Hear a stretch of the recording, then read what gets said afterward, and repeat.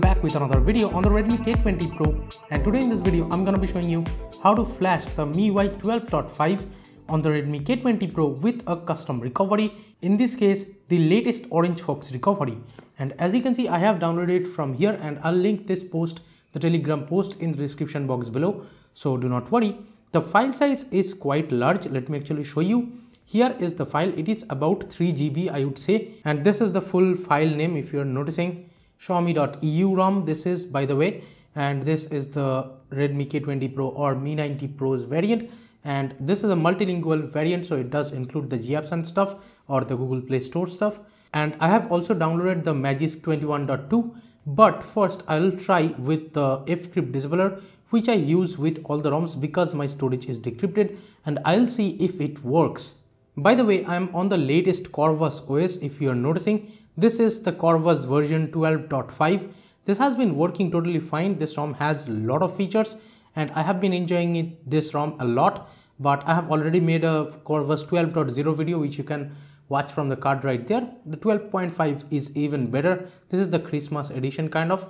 This is the 24th December build I guess. Yes, as you can see from the build it has december security patch and stuff. And you can definitely flash this ROM. You can watch the 12.0 video. The Corvus 12.0 from the card right there again because this ROM is pretty similar to the 12.0 and I would say the 12.5 again it, it is even better. Has ANX camera and stuff as stock.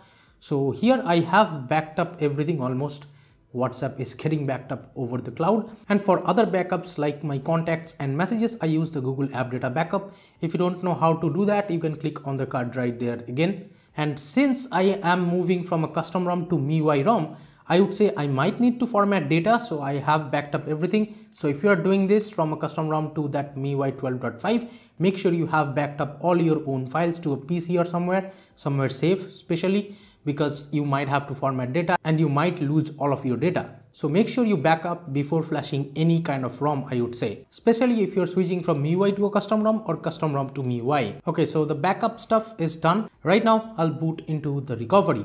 And by the way, my Orange Fox recovery version from here as you can see is R11.0 underscore 1. This is the latest Orange Fox recovery for the Redmi K20 Pro I am using here. And again, if you do not know how to install Orange Fox recovery on this device, card right there. Right now, let me just head towards the home and here I'll just wipe first. So I'll select Dalvik cache system vendor and data. Then I'll swipe to wipe. I'm not formatting data yet. I'm just willing to see if it will work with the Fcrypt disabler. So right now I went to the download folder and from here I select the ROM file itself, then add to queue then let's select the fcrypt disabler which I use. Right now, let's just see. Okay, so it's flashing already.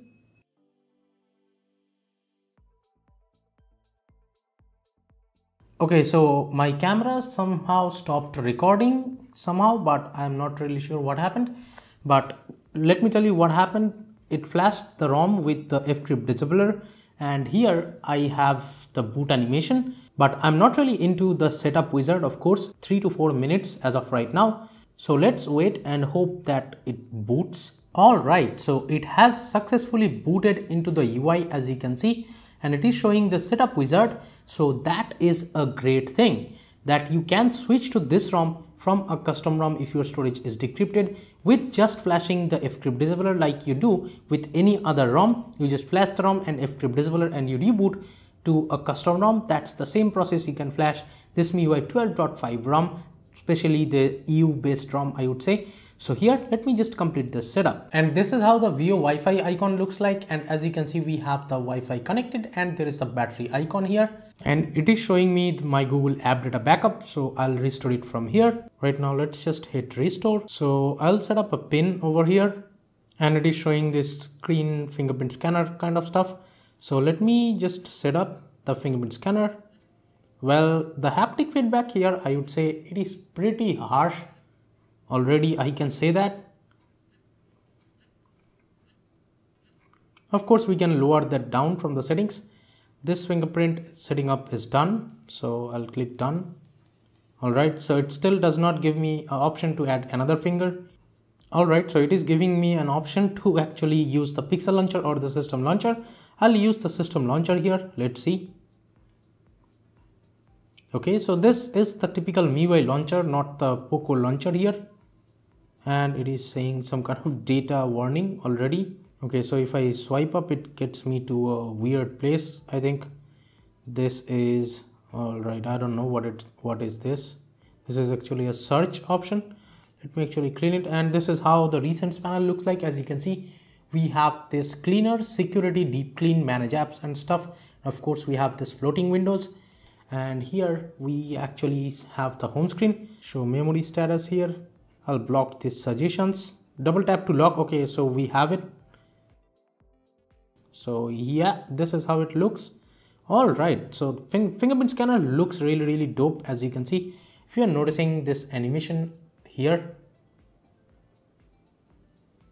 looks pretty dope in my opinion.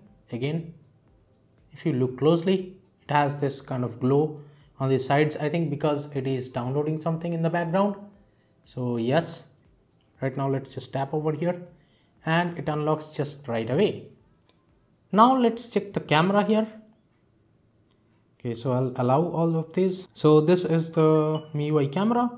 And yeah it is working fine. The front camera and stuff is working fine. Let's switch to the portrait mode and on the back as well. Yep the portrait mode is working fine it seems. And in the more settings we have some more options of course. We have the slow motion and stuff. And in the video let me show you we have the 4k 60 fps option. Let me actually choose it. And as you can see it is working fine over here. And even in the front camera we have up to 1080p 30 fps option for the front camera. So still we have all those options. And of course you can shoot 960 fps slow-mo i guess. Let me go back from here okay? So we are still using the nav buttons. So right now let me actually pull down the quick settings panel. Here is how it looks like again and if i swipe up more again we have this quick settings panel and you can swipe just like this. So yeah we have the dark mode turned on. Let me actually disable it. Let's go into the settings. This is how the settings panel looks like. Let's go into the additional settings. And let's enable this full screen gestures. So you can actually hide this i guess.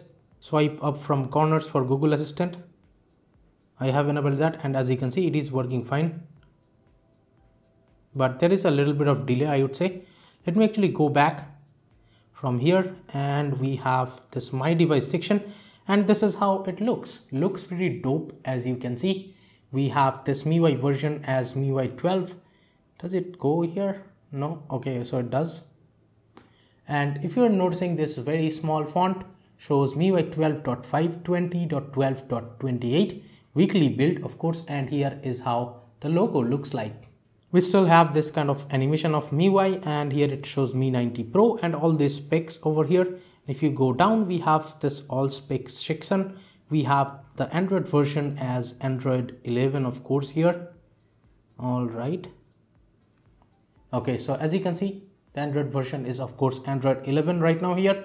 Let me go back so this is great. The Redmi K20 Pro actually like received kind of a beta update on MIUI with Android 11 already. So this is great. Very good start of 2021 in my opinion. And this is how the stock dialer or in-call UI looks like as you can see. We of course have the call recording option and stuff. Then we have the loudspeaker, video call option and stuff like that. And VoWiFi is actually working fine right out of the box of course. And this is how the recent panel looks like as you can see you can swipe a app just like this to clear it or you can tap here to go to that app's info or you can hold a particular app just like this to actually lock it or make it to split screen or something if that app supports it or maybe floating window if you are using that. Now here i'll be daily driving with this ROM and i'll try to make a full review out of this.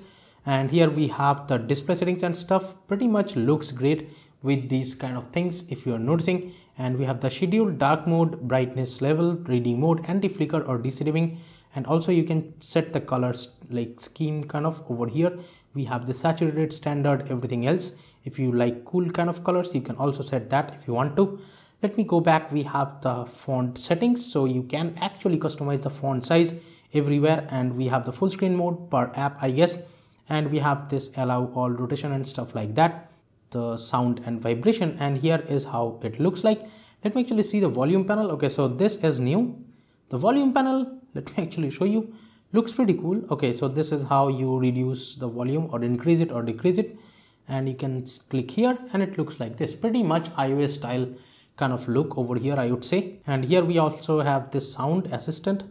I don't know what it does. Let me go back. We have this do not disturb mode and we have this do not disturb mode scheduling option then we have vibrate for calls. Of course I'll enable that. Vibrate in silent mode is enabled. And vibrate on tap I'll actually like put it to light. And we have profile video for incoming calls something like that. Additional settings is there. We can actually disable the charging sound unmute sound screenshot sound everything else. So this is great. And we have the delete sound and stuff. And by the way the volume panel like in the volume panel you can put the phone into vibrate or silent just from here.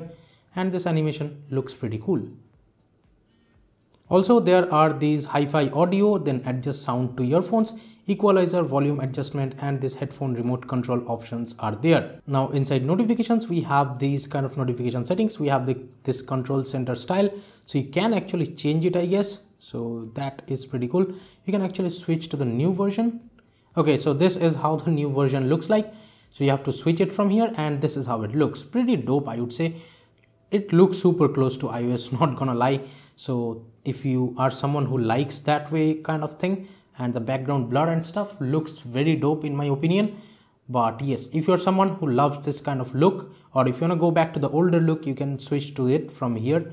So that is great that you can actually switch. And inside this always on display as you can see we have all these settings and from here on the always on display we have all these options. This is in dark pretty sure it doesn't work with white theme for some reason. As you can see it shows everything in dark but if I go back everything is in white mode so yeah.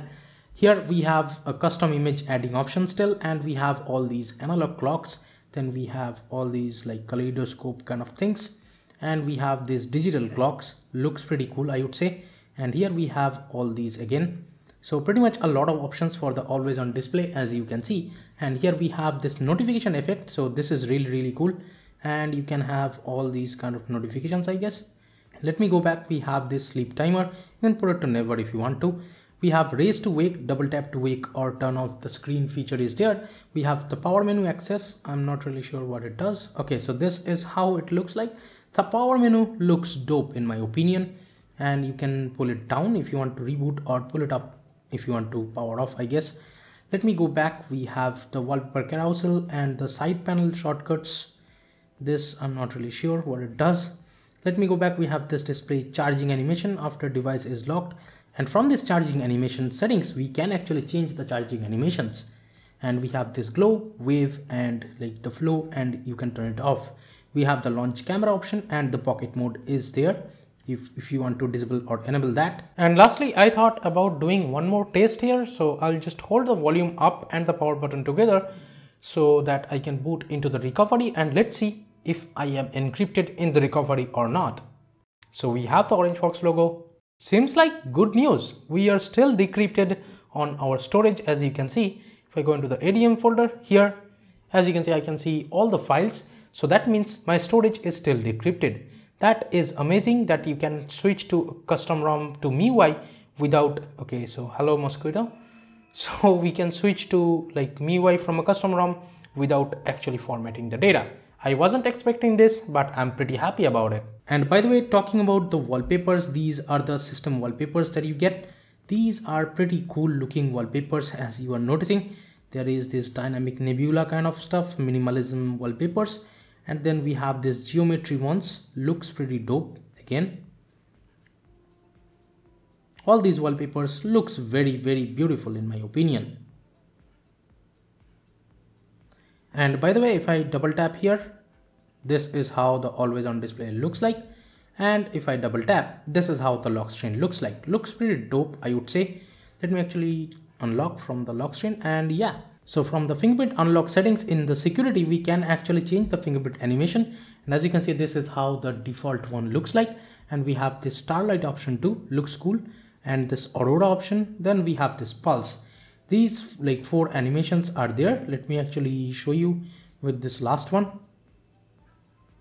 Okay so looks pretty cool in my opinion. So yes that is how you can flash the MIUI 12.5 on your Redmi K20 Pro. Let me know in the comments what you guys think. Give this video a thumbs up if you liked it. Subscribe to the channel down there if you have not yet. And do wait for the full review of this ROM which will be coming soon after I'll test it for a couple of days now. So yeah thanks for watching this video guys. Share this video with your friends if you want them to know how to flash this ROM on their Redmi K20 Pro and subscribe again if you have not yet. This is Tito from KTN Tech signing off for today. I'll be catching you guys in the next one. Bye now.